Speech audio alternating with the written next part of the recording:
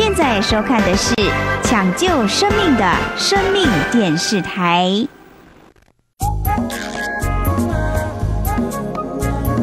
接下来请收看佛教动画系列。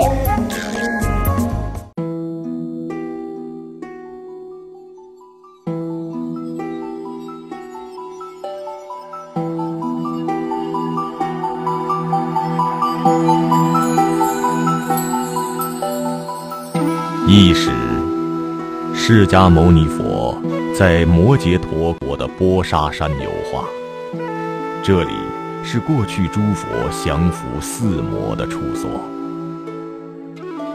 在结下安居时，佛陀与弟子舍利弗等散步经行于波沙山顶。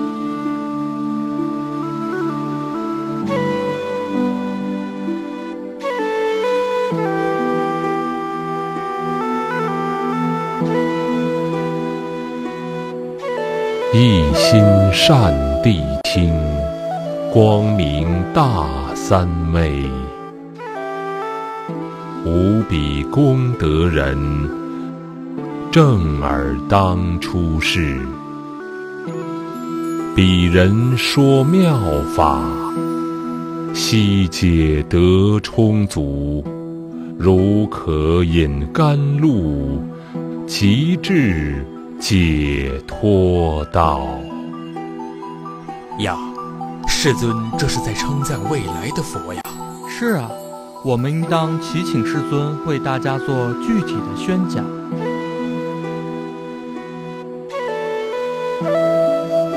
祈请世尊为大众宣说寄颂所赞美之人，并讲解未来佛弥勒慈尊的名字、功德。神力、国土庄严，以及如何修持才能得见的道理，你们要仔细聆听，并且好好思考。若人能听闻毗婆尸佛、施气佛、毗舍浮佛、居留孙佛、居那含牟尼佛。迦舍佛和释迦牟尼佛这七位如来的名号而礼拜供养，便能以此因缘净除业障。在听闻弥勒慈悲的根本之道，就能证得清净心。你们今天应当一心合掌。皈依这位未来的大慈悲圣者，我将为你们广泛分别的讲说。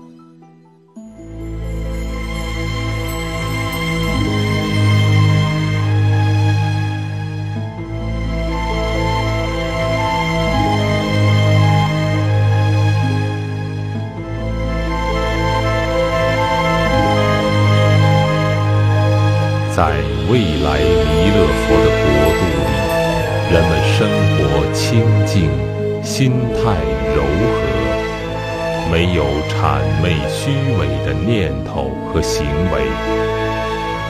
人们能见到弥勒如来，并为他的慈悲而摄受。出生在那个国土的众生，都能调伏身心，随顺。佛陀的教化。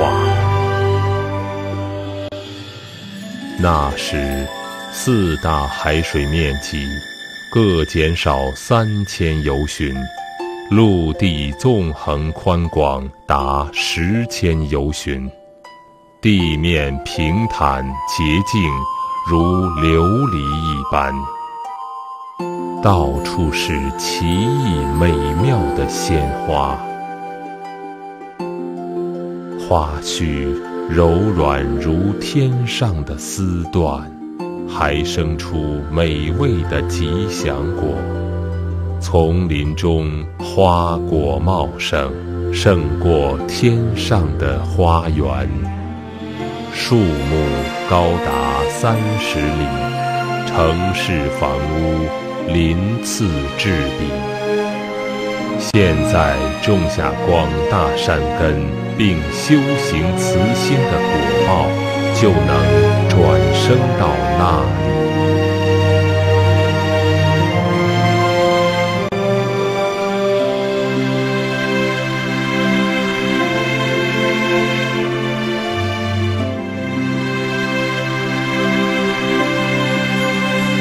那时，人民具足智慧和威仪德行，五欲众具，快乐安稳，没有寒热风火的疾病和灾害，寿命长达八万四千岁，且不会夭折短命，身材高达十六丈，日日以禅定。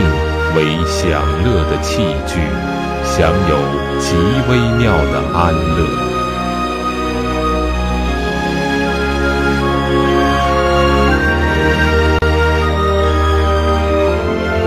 在这片大陆上，有个地方叫赤头墨城。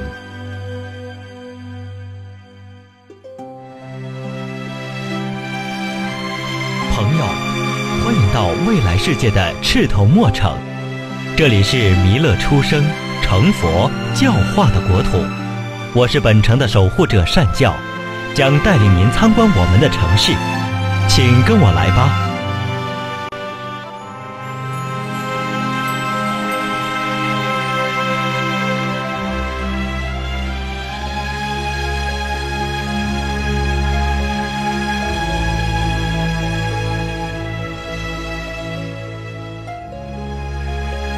赤头墨城长宽一千二百由旬，是用各种金银珍宝建造而成的。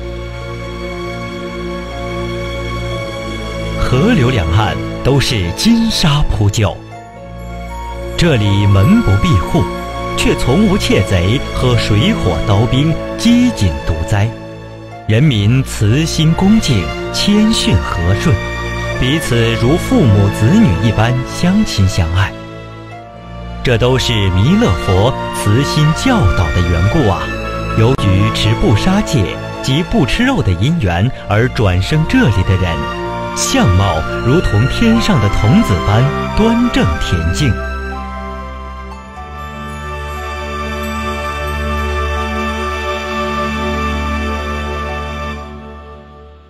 人们年老衰弱后，就自行到山林树下念佛。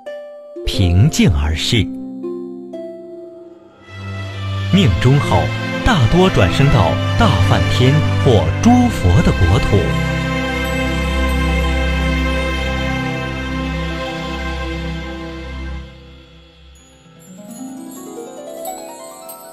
这里的明珠柱可以将夜晚照得和白天一样。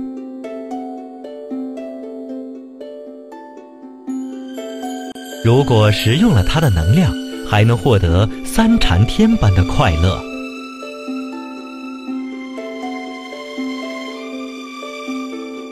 嗯，很不错。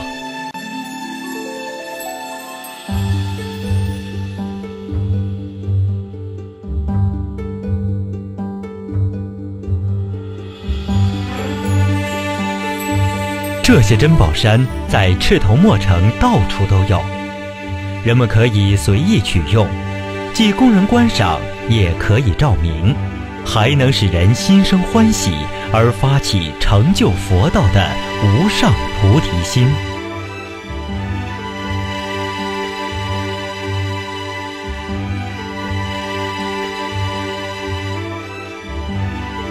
能猜到这是什么吗？莲花？哈哈，这可不是普通的莲花。这是一个隐蔽的卫生间，从地面自动开关。入厕后，莲花会散发香味来遮蔽晦气。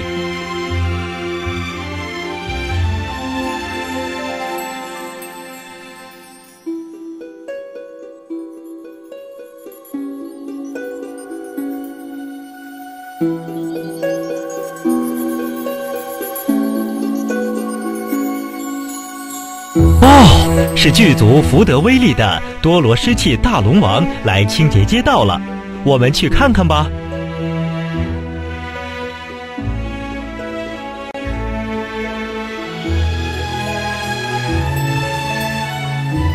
嘿，龙王，辛苦了，每天夜里都麻烦你来打扫，多谢了。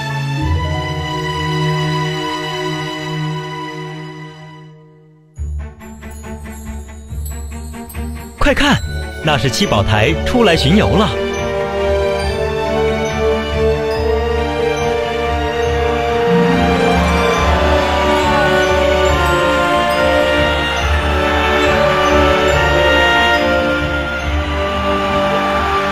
本城的囊去王有一千个儿子，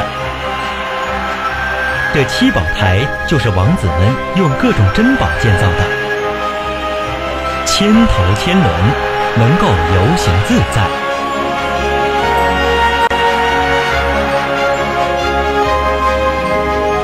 不过，囊去王拥有的四大宝藏，可比这七宝台更加华美壮观。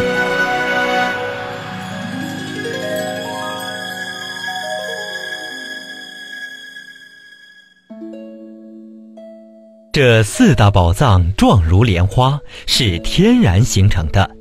纵广一千由旬，藏满了各种光芒四射的珍珠宝物。每个大宝藏都附属围绕着四亿个小宝藏，里面也一样有无数珍宝，都是由四大龙王守护着。虽然这些珍宝很漂亮，不过如佛所说。以前的人们为了得到它，居然会彼此残害，结果堕入大地狱里，受无量无边的痛苦。是啊，贪心最终都会导致痛苦，所以这些不值得留恋。这里这么多宝石，简直和路边的石头一样平常，根本不稀奇嘛。就算没有龙王看守，我都懒得拿。其实我们看看就好了。是啊，是啊，拿走根本也没有用啊。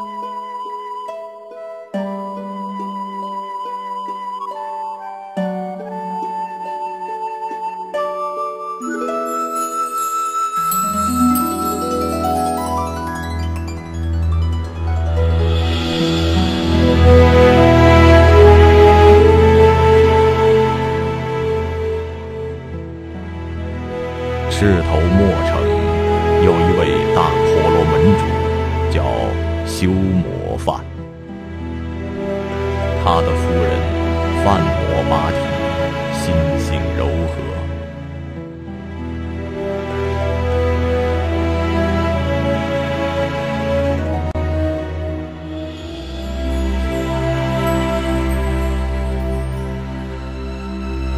弥勒在兜率净土中观察，选择了他们作为父母而托生。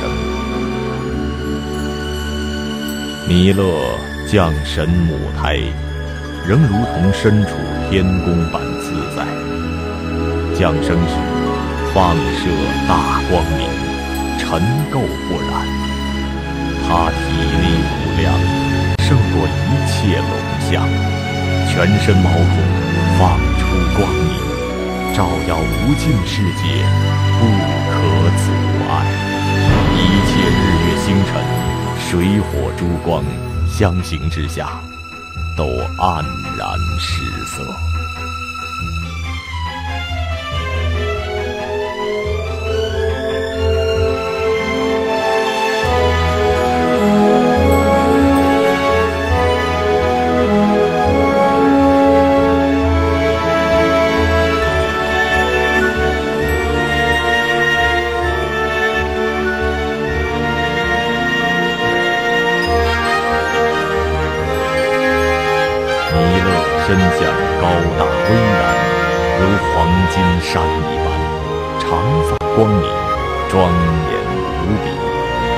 见到他的人，自然超脱三恶道。弥勒在家时，观察到世间事物种种无常，知道有为法都将磨灭，因而修无常之祥。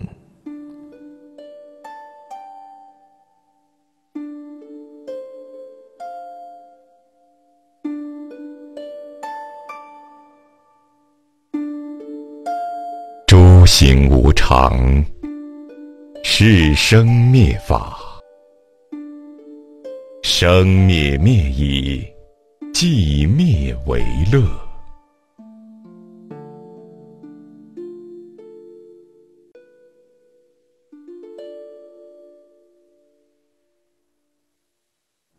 说完这段偈子，弥勒自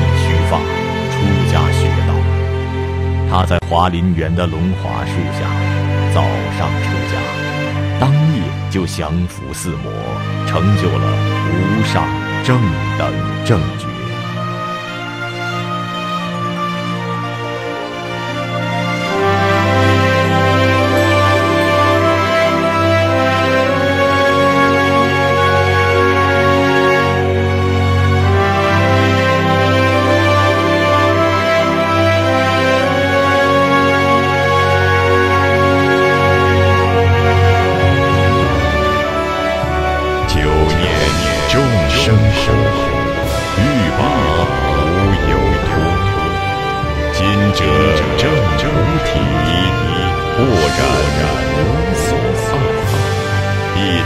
众生苦，本性相如实，永更无忧苦，慈悲已无缘。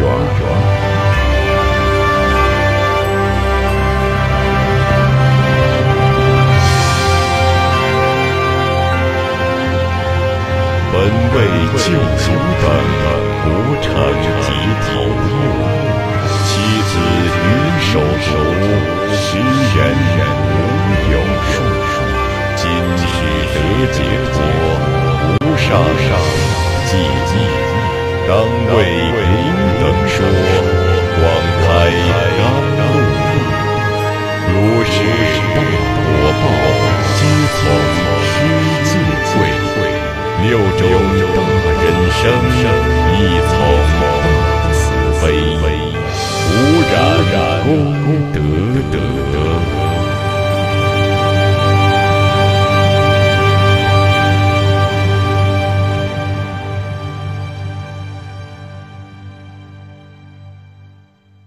弥勒已成佛道，弥勒已成佛道，弥勒已成佛道，弥勒已成佛道。弥勒已成佛道。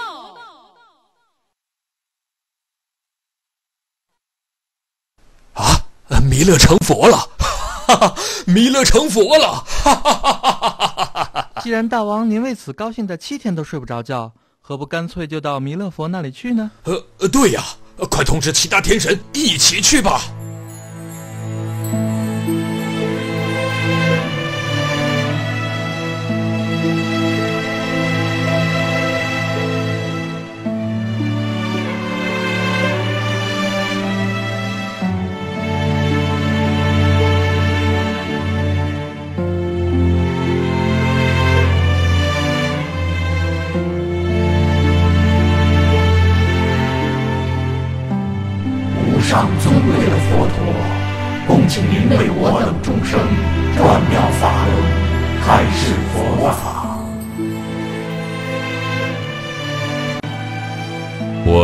长夜受大苦恼，修行六度，始于今日法海满，见法床，击法鼓，吹法笛，语法语，应当为你们说法。诸佛所转八圣道轮，诸天世人无能转者，其义平等。直至无上无为寂灭，为诸众生断肠业苦。此法甚深，难得难入，难信难解。一切世间无能知者，无能见者，悉除心垢，得万梵行。弥勒佛为诸天大众见说。微妙之论，使在场的天子们闻法后，诸尘垢尽，而获得清净法眼。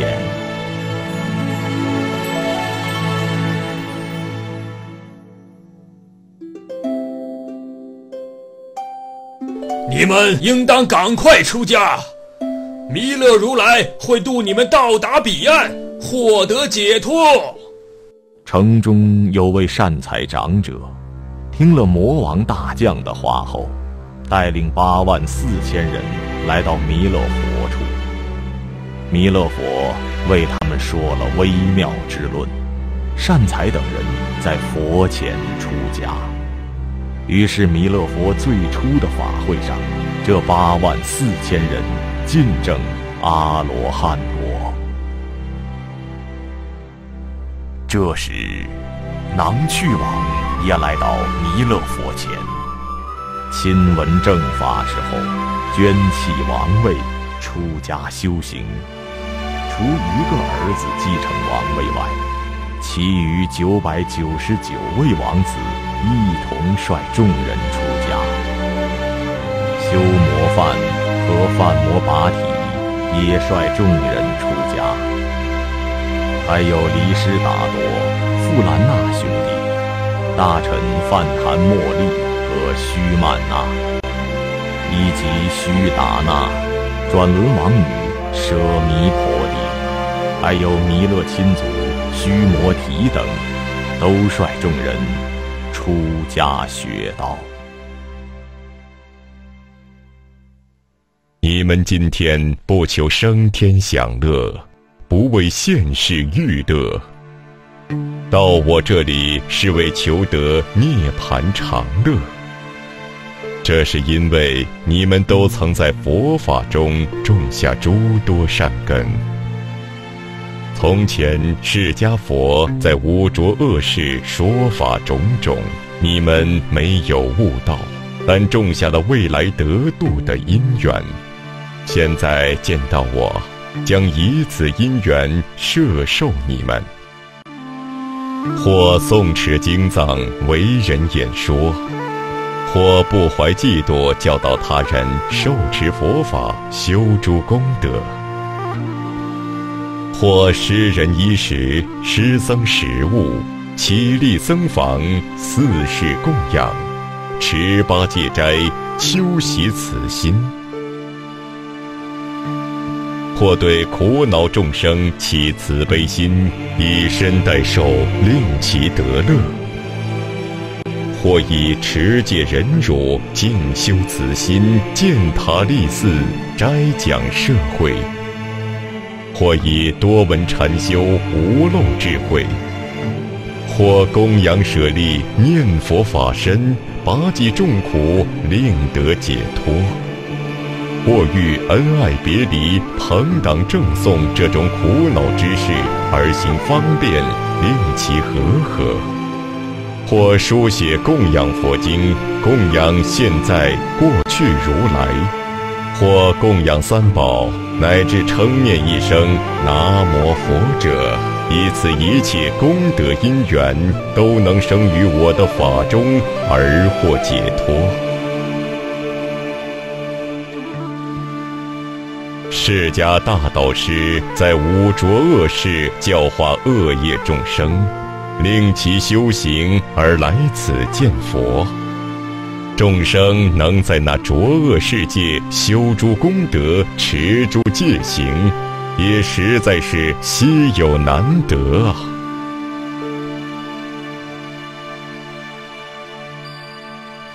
五欲是众苦之本，不贪五欲之乐，就能舍除忧气仇恨。应当了知，苦乐皆是无常。弥勒佛为大众宣说了色受想行识苦、空、无常、无我的法以后，有九十六亿人证得阿罗汉，三十六亿天子和二十亿天女发起成就佛道的菩提心。天龙八部中有得出国者。或中辟支佛道因缘者，及获得其他发心者，不计其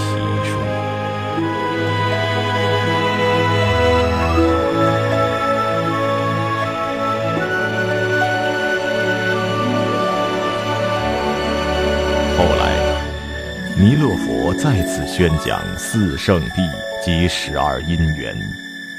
法会中有九十四亿人证得阿罗汉。他方世界有六十四亿恒河沙数的天龙八部，发起了成就佛道之愿心，而住于不退转的境地之中。第三次大会，又有九十二亿人证得阿罗汉。三十四亿天龙八部发起菩提心。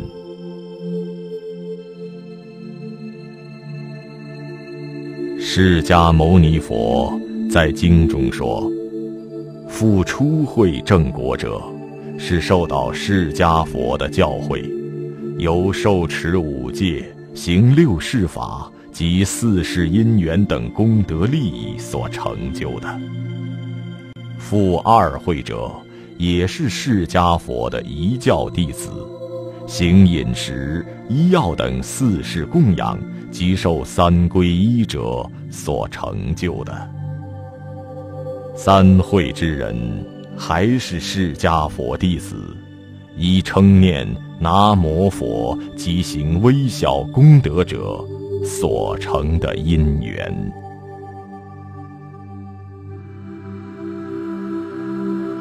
那时，弥勒佛对弟子说法，让他们做十种思维：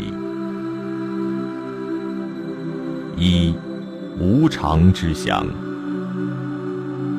二、乐有苦想；三、即我无我想；四、时有空想。五色变之想，六轻淤之想，七膨胀之想，八食不消想，九脓血想，使一切世间不可乐想。思维此实相后，有无法形容之多的众生，证得了须陀洹出国。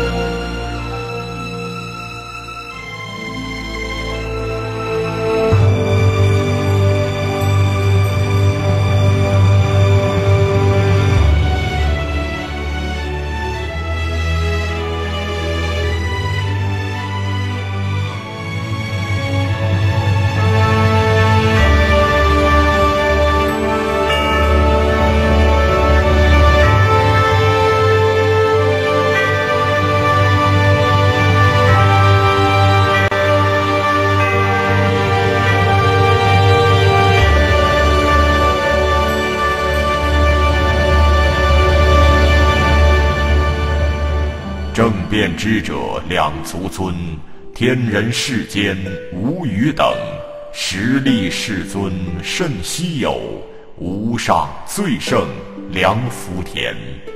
其供养者升天上，未来解脱助涅槃。其手无上大精进，其手慈心大导师。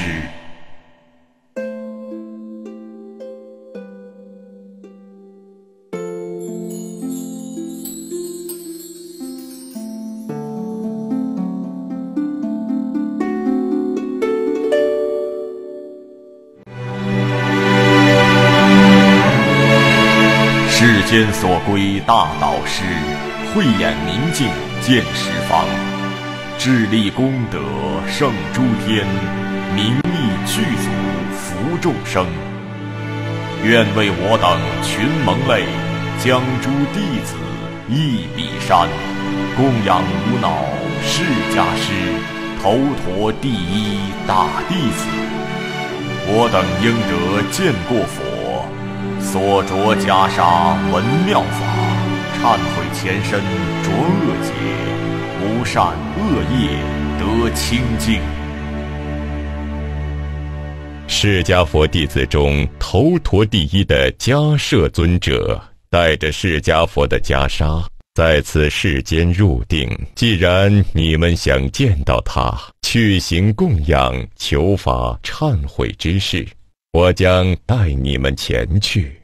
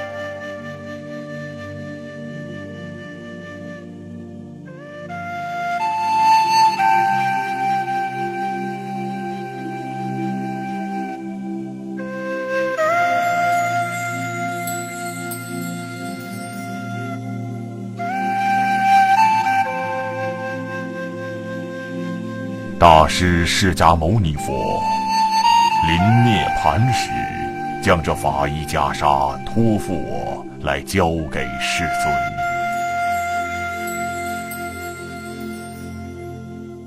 这山上怎么会出现人头虫？长得短小丑陋，却拿着佛的袈裟，居然还能恭敬礼拜世尊。孔雀有好色。鹰随瞻所识，白象无量力。狮子子虽小，搓食如尘土。大龙身无量，金翅鸟所搏。人身虽长大，肥白端正好。七宝瓶成分，污秽不可堪。此人虽短小。智慧如炼金，烦恼习久尽，生死苦无余。不法故在此，常行头陀事，天人中最胜。苦行无余等，牟尼两足尊前来至我所，汝等当一心，合掌恭敬礼。这位就是释迦牟尼佛弟子中头陀第一的迦摄尊者，他有金色的身体，舍离了金色身的妻子，出家修行，精进不懈，并且慈悯贫苦下贱之人，为了佛法的传承而住于世间。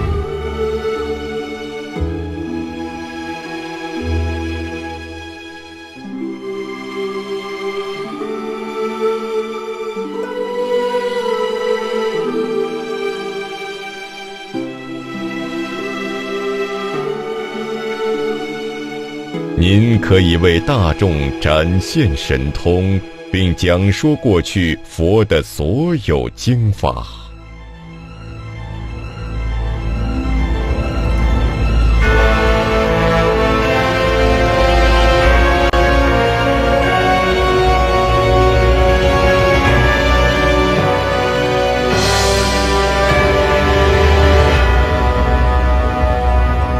迦摄尊者在空中做十八神变后，成佛威力以梵音声，演说释迦牟尼佛十二部经典。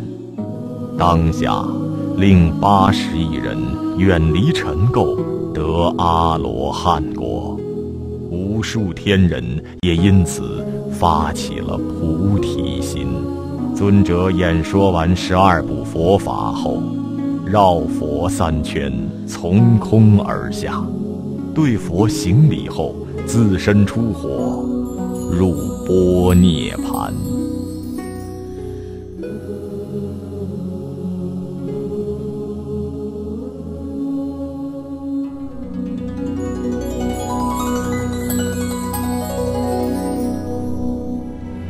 那时，弥勒佛说法的场所。宽广八十由旬，长百由旬。其中修学的众生，人人都能见到弥勒如来在面前为自己单独说法。弥勒佛在世有六万年，因慈悲怜悯众生，而令有情皆能证得欢喜地菩萨的果位。佛灭后，正法住世六万年，相法两万年。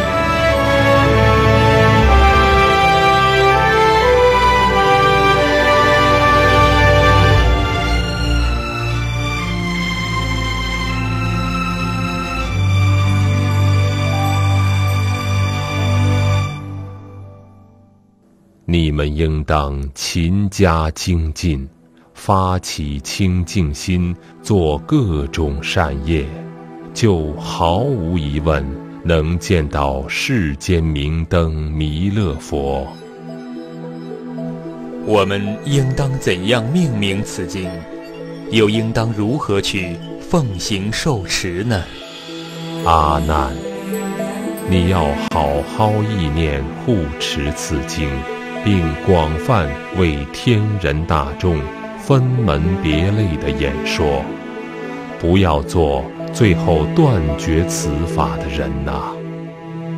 此经的法要是叫一切众生断忤逆种，净除业障、报障、烦恼障，修习慈心，与弥勒共行，或教一切众生得闻弥勒佛名。避免五浊世不堕恶道经，又叫破恶口业心如莲花定见弥勒佛经，又叫慈心不杀不食肉经，又叫释迦牟尼佛以一为信经，又叫若有闻佛名。决定得免八难经，还叫弥勒成佛经。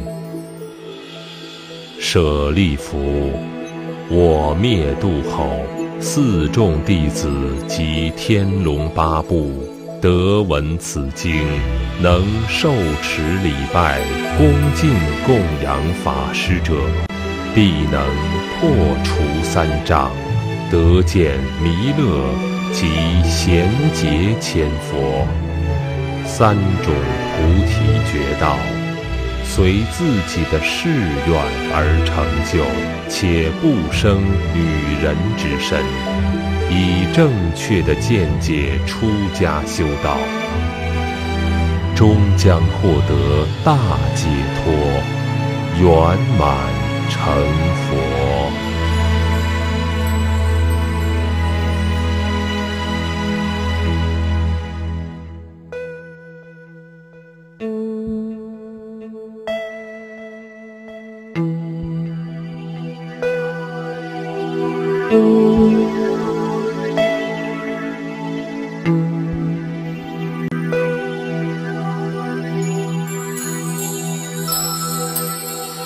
你心上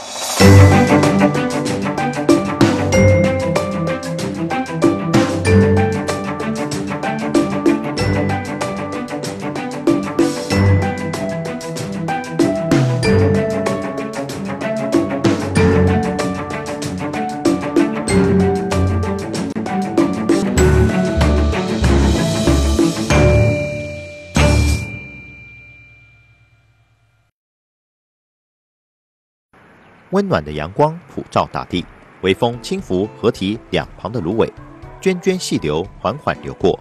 坐落于屏东县盐埔乡的屏东盐埔护生狗园，隶属于海涛法师置业台湾救狗协会所属的狗儿收容机构。四周环境清幽的园区内，共收养了八百五十六只狗儿。一踏入园区，映入眼帘极为慈祥的地藏菩萨圣像，守护着这片有爱的净土。随即而来的便是狗狗兴奋的叫声。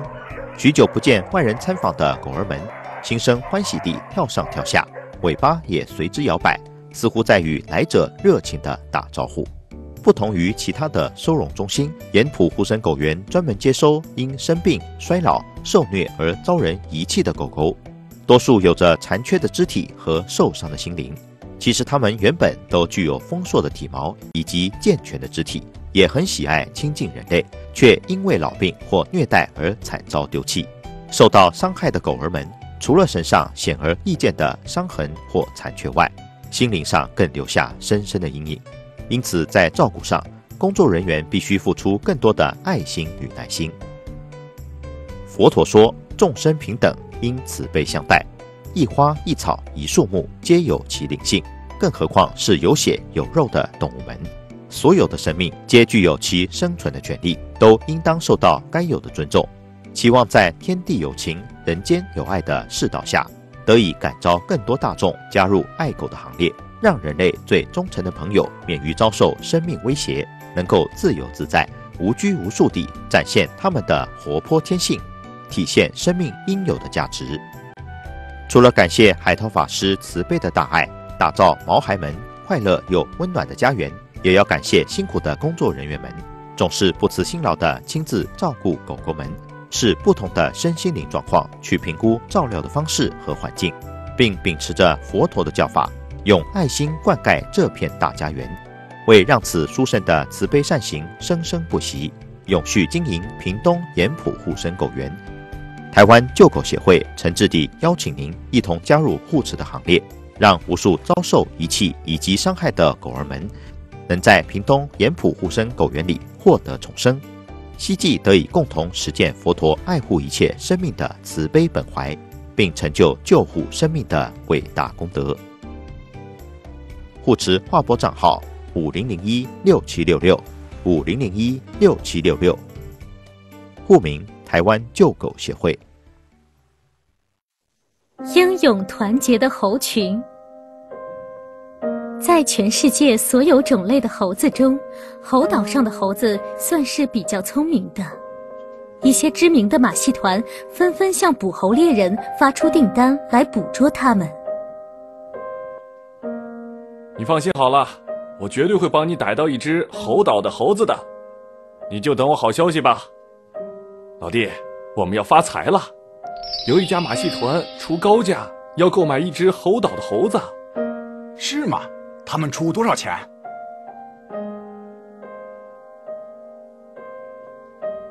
天哪，这么多钱呀！我们准备一下，马上就去猴岛吧。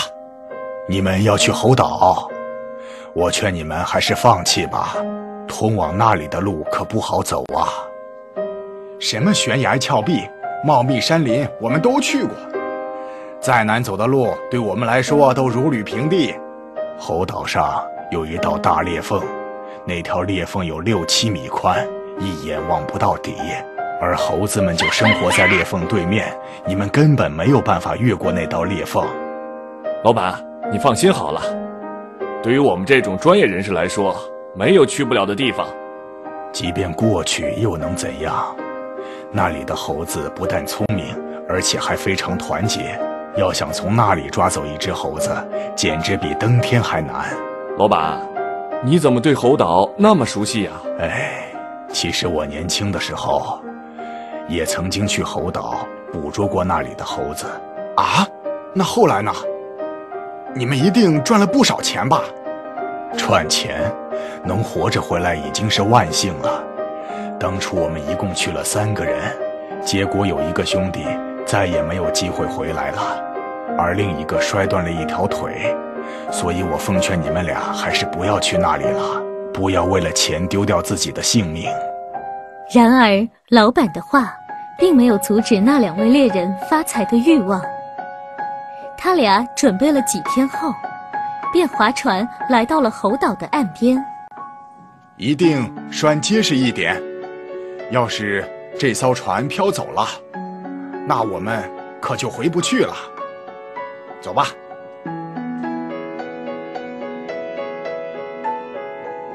看来这就是老板所说的那道裂缝了。是啊，这道裂缝又宽又深，我们要怎么过得去呢？一定会有办法的。你看这棵树，如果把它砍倒后，正好可以横在裂缝上，这不就成了一个天然的独木桥吗？没错，真是上天帮助我们发财呀！如果没有这棵树的话，要想过去还真不容易呢。大树被砍倒后，正好跨过那道裂缝。两位猎人凭借这棵大树，走到了裂缝对面。他俩走了没多远，便在地上发现了一些猴子的粪便。你看，我们终于到了猴子生活的地方了。嗯，那我们就在这里布下陷阱呗。都说这里的猴子非常聪明，你说它会钻进这个陷阱吗？最简单的方法，往往也是最有效的。即便是再聪明的猴子，也无法抗拒美食的诱惑，尤其是炒熟的花生，那香味顺着风，可是能飘得好远呢。嗯，只要我们拥有足够的耐心，一定会有猴子钻进这个陷阱的。没错，我们就在这里耐心的等着吧。然而几天过去了，猴群却一直都没有出现。就当这两位猎人准备放弃的时候，从山林的深处传来了猴子的叫声。猴子的叫声，他们终于来了！你听，他们的叫声越来越近，他们快来了！太棒了！我们千万别发出声响，这群家伙实在太警惕了。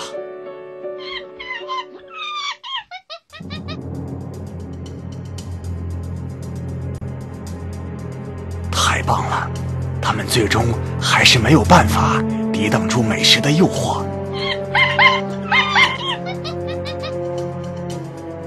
太棒了，这只小猴子要进入我们的陷阱了。要知道，小猴子更容易训练，表演的年限又长，卖的钱也会更高。没错，小猴子，赶快进去吧，里面有好吃的花生。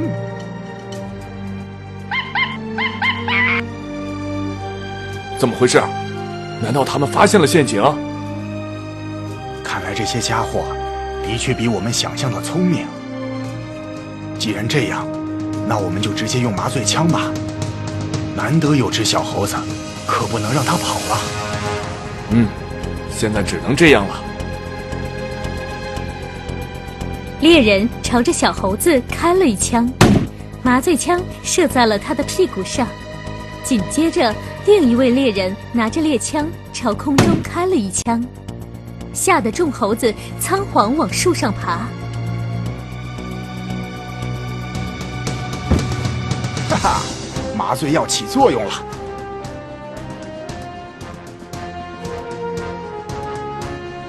都说猴岛上的猴子难捉，我看根本就没什么难的嘛。孩子，我的孩子，小心啊！他们手里的武器很厉害。我要去救我的孩子。兄弟们，我们一起去把小猴救回来。快走，我们可没时间和他们周旋。把孩子还给我！把孩子还给我！给我退后！否则我就开枪了。哎呀，好痛啊！啊！可恶的猴子，竟敢朝我们丢石头！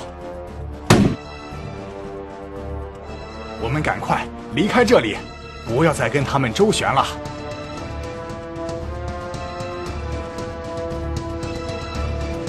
啊！可恶的猴子，真是难缠！别管他们了，小猴子很快就要醒了，我们赶快跨过那道裂缝，到了那边我们就安全了。两位猎人踏着树干跑过了那道裂缝，接着他俩将那树干撬掉下去。哎，好了，这下我们就安全了。哈哈，你们没有办法了吧？我就不信，你们还能长出翅膀飞过来。再见了，猴子们！等再有马戏团需要你们时，我们还会再来看你们的。救命啊！救命啊！孩子，我的孩子在那里。孩子不要怕，妈妈在这里。怎么办？我们根本过不去啊！哈哈，你们没有办法了吧？再见了，猴子们！猴子们，有本事你们飞过来呀！再见啦！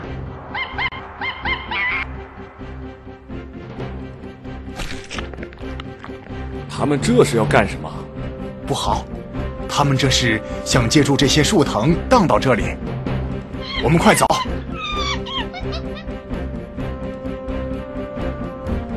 猴群很快便追赶上那两位猎人。为了防止猴群靠近，猎人急忙将随身带着的汽油浇在地上，然后点燃。燃起的火苗一下子将猴群挡住。哈哈，我看你们还有什么本事？没错，动物都是害怕火的。只要我们让这道火墙烧得旺旺的，他们就没办法再追来。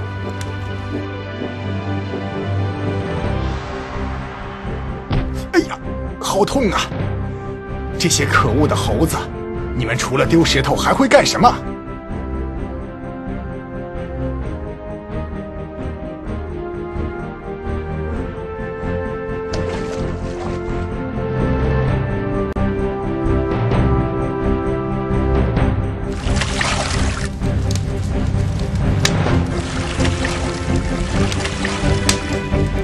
哎呀，这些猴子真的太聪明了，他们竟然知道用水来灭火。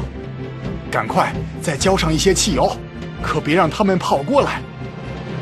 但是我们的汽油已经没有了，这下要怎么办呢？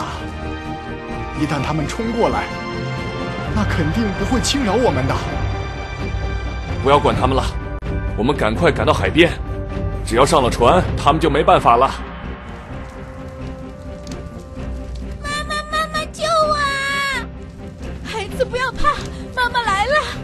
那只母猴突然大喊了一声，然后一下子纵身穿越了火墙。它身上的毛被火焰一烧，立刻熊熊燃烧起来。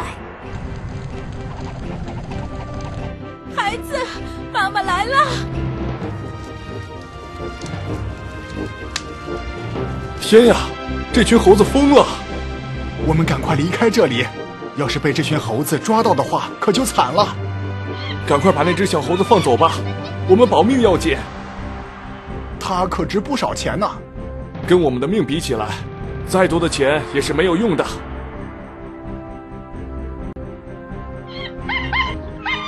孩子，你安全了。天啊，他们怎么还不放过我们？不要管了，我们快跑啊！猴岛上的猴子真是不能惹啊！是啊，他们真是太可怕了。如果不是我们及时跑到船上，今天可就不妙了。没错，